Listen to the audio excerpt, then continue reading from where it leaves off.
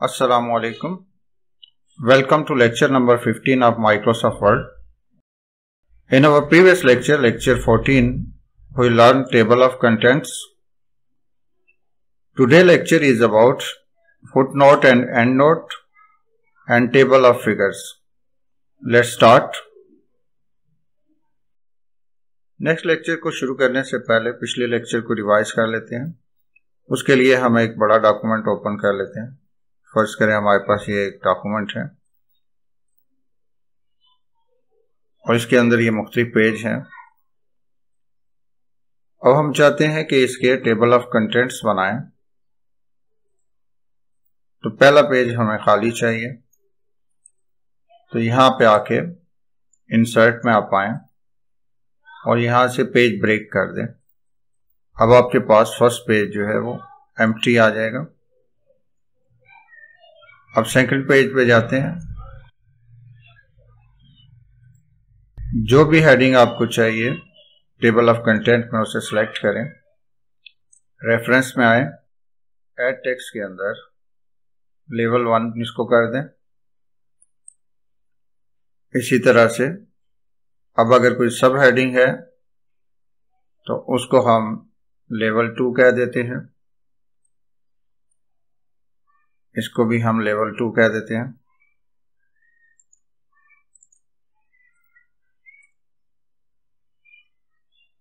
Select करें text को और यहाँ से लेवल टू कर दें।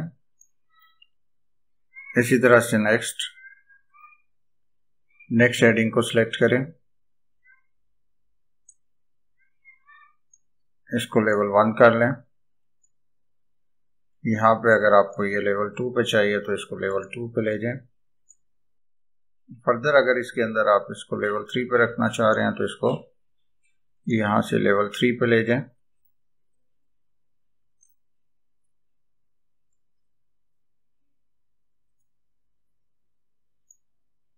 इसको भी आप अगर लेवल थ्री पे रखना चाह रहे हैं तो यहाँ से भी इसको लेवल थ्री पे ले जाएँ। इसको अगर आप लेवल टू पे रखना चाह रहे हैं तो लेवल टू रख लें। मुख्तलिफ़ लेवल, मुख्तलिफ़ सब हेडिंग्स हैं। इसी तरह इसको सिलेक्ट करें और इसको भी आप लेवल टू कर लें। इसी तरह से नेक्स्ट पेज पे अगर यहाँ पे इसको आप लेवल वन करना चाहें तो लेवल वन कर लें। तो यहाँ तक जितना आपने बनाया, इसका टेबल ऑफ़ कंटेंट्स बना लेते हैं। तो फ़र्स्ट पेज पे आ जाए। एम पेज पे क्लिक करें। और यहाँ पे टेबल ऑफ़ कंटेंट्स में आके यहाँ पे आपके पास डिफरेंट हैं। कंटेंट्स ऊपर लिखा है या टेबल ऑफ़ कंटेंट्स लिखा है। तो मैं सेकंड ऑप्शन को चूज़ कर रहा हूँ।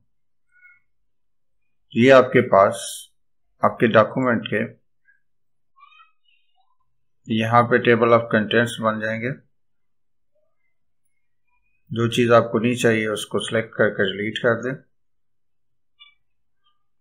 जिसको हमने लेवल वन बनाया था, वो यहाँ पे है, और जिनको हमने लेवल टू बनाया, वो थोड़े से आगे हैं। और लेवल थ्री जो है वो, उससे भी आगे है। तो इस तरह से आप डिफरेंट लेवल या डिफरेंट सब लेवल बना सकते हैं। तो यहाँ पे हमारे पास उनके पेजेस जो हैं, वो रिफ्लेक्ट हो रहे हैं कि किस पेज पे कौन सी हेडिंग है।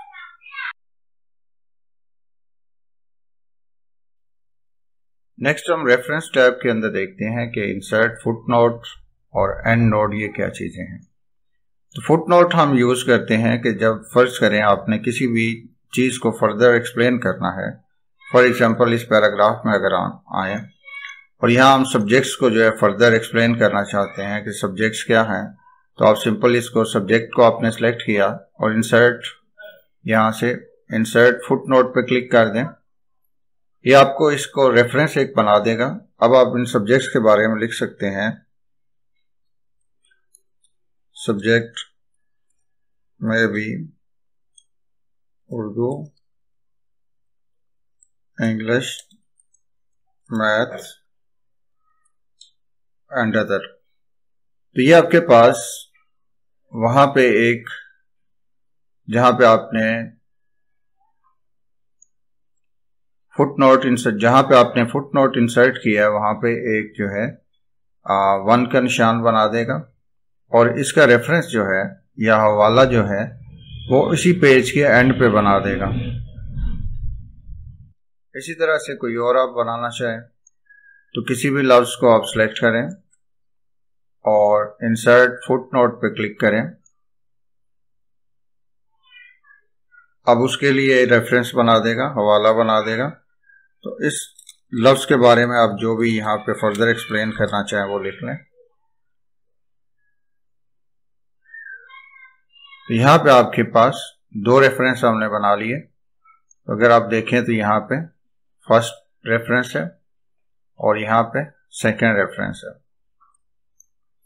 इसी तरह हमारे पास यहाँ पे एंड नोट है। एंड नोट आप किसी भी क्वेश्चन इसी तरह से एंड नोट में आप क्या करते हैं कि किसी भी लफ्ज को आप सिलेक्ट कर लेते हैं और इंसर्ट एंड नोट पे क्लिक करते हैं। ये आपको डॉक्यूमेंट के एंड पे ले जाएगा और यहाँ पे आपने जो भी उस लफ्ज के बारे में फर्दर एक्सप्लेनेशन देनी है वो यहाँ पे आप दे लेते हैं। एंड नोट और फुट नोट के अंदर फ़र्क ये है कि एंड नोट डॉक्यूमेंट के एंड पे आपके पास उसका रेफरेंस बनेगा या हवाला बनेगा, जबकि फुट नोट जो है वो आपके पास उसी पेज के एंड पे बनेगा। यहाँ पे हमारे पास ये फुट नोट है, जो उसी पेज के एंड पे बना। और एंड नोट डॉक्यूमेंट के बिल्कुल एंड पे आपके पास वो बनेगा। तो एंड नोट और फुट नोट ये आपके पास किसी भी लफ्ज के लिए हवाला उसका लिखना हो तो उसके लिए हम यूज़ करते हैं। नेक्स्ट आपके पास शो नोट्स हैं। या आप यहाँ से नेक्स्ट फुट नोट पे जाना चाहें, या नेक्स्ट आप जो है एंड नोट पे जाना चाहें तो जैसे आप इस पे नेक्स्ट एंड नोट करते हैं तो आपको जहाँ पे भी एंड नोट बना है, वो आप, वहाँ आपको ले जाएगा। और इसी तरह से अगर आप फुट नोट पे नेक्स्ट फुट नोट पे जाना चाहें तो ये आपके पास, जब आप यहाँ पे क्लिक करेंगे तो जहाँ जहाँ पे भी आपके पास इसी तरह शो नोट्स पे आए और यहाँ से आपसे वो पूछेगा कि आप फुट नोट पे देखना चाह रहे हैं या एंड नोट्स को तो एंड नोट को यहाँ से मैं अगर फुट नोट को क्लिक कर लूँ तो ये मुझे फुट नोट के ऊपर लेके जाएगा। नेक्स्ट हम देखते हैं कि टेबल ऑफ़ फिगर्स कैसे बनाई जाती हैं। टेबल ऑफ़ फिगर को समझने के लिए मुझे अपने डॉक्यूमेंट के अंदर फिगर्स या पिक्चर्स चाहिए होंगी। तो इंसर्ट पे आते हैं और यहाँ पे पिक्चर पे क्लिक करें। और जहाँ आपके पास पिक्चर्स हैं, उनको सेलेक्ट कर लें।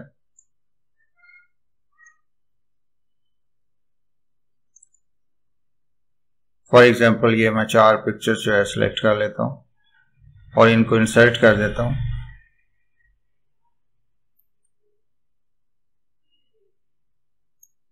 तो फ़र्स्ट पिक्चर को आप सिलेक्ट करें। रेफरेंस में आए और यहाँ पे इंसर्ट कैप्शन यहाँ पे क्लिक करें। इस पिक्चर का जो भी आपने नाम रखना है वो रख दें जैसे एल जैसे एलसीडी मॉनिटर मैंने इसका नाम रख दिया और इसको ओके कर दें।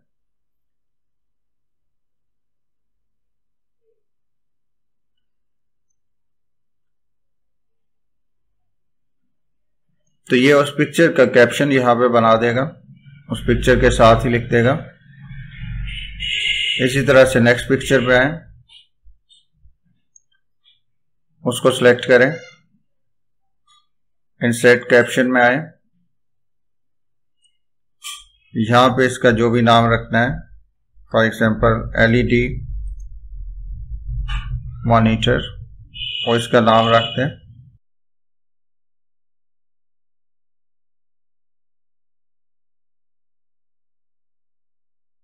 ये इस पिक्चर का नीचे कैप्शन सेलेक्ट कर देगा। नेक्स्ट पिक्चर को सिलेक्ट करें। इसका कैप्शन सेट करें। फॉर एग्जांपल ये C R T monitor okay कर दें।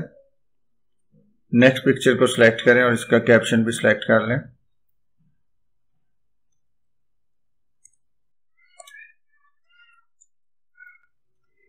और इसको ओके कर दें।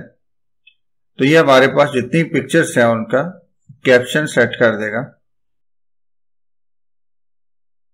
अब आप फ़र्स्ट पेज पे आ जाएँ और जहाँ पे आपने टेबल ऑफ़ कंटेंट्स बनाने हैं, वहाँ पे आके इंसर्ट टेबल ऑफ़ फिगर्स पे क्लिक कर दें। यहाँ मुख्तलिफ़ ऑप्शन है, इनको ऐसे ही रहने दें और सिंपली ओके कर दें। तो यहाँ पे आपके पास टेबल ऑफ़ फिगर्स बन जाएगी। अब आप किसी भी पिक्चर पे जाना चाहें तो सिंपली कंट्रोल के बटन को प्रेस करें और उस फिगर पे क्लिक कर दें। तो ये आपको उस पिक्चर के ऊपर ले जाएगा। जब आपने यहाँ पे पिक्चर्स डाली हैं तो यहाँ पे जितना भी टेबल ऑफ़ कंटेंट्स है वो चेंज हो सकता है। तो इस पर क्लिक करें और यहाँ से आप अपडेट टेबल के ऊपर क्लिक कर दें। अपडेट इंटीरियर टेबल और ओके कर दें। तो ये यहाँ पे सबके पेज नंबर जो है वो उसी हिसाब से चेंज कर देगा। जो चीज़ आपको नहीं चाहिए उसको डिलीट कर दें। तो आज का लेक्चर हम इतना ही रखते हैं। नेक्स्ट लेक्चर तक के लिए अल्लाह हाफिज़।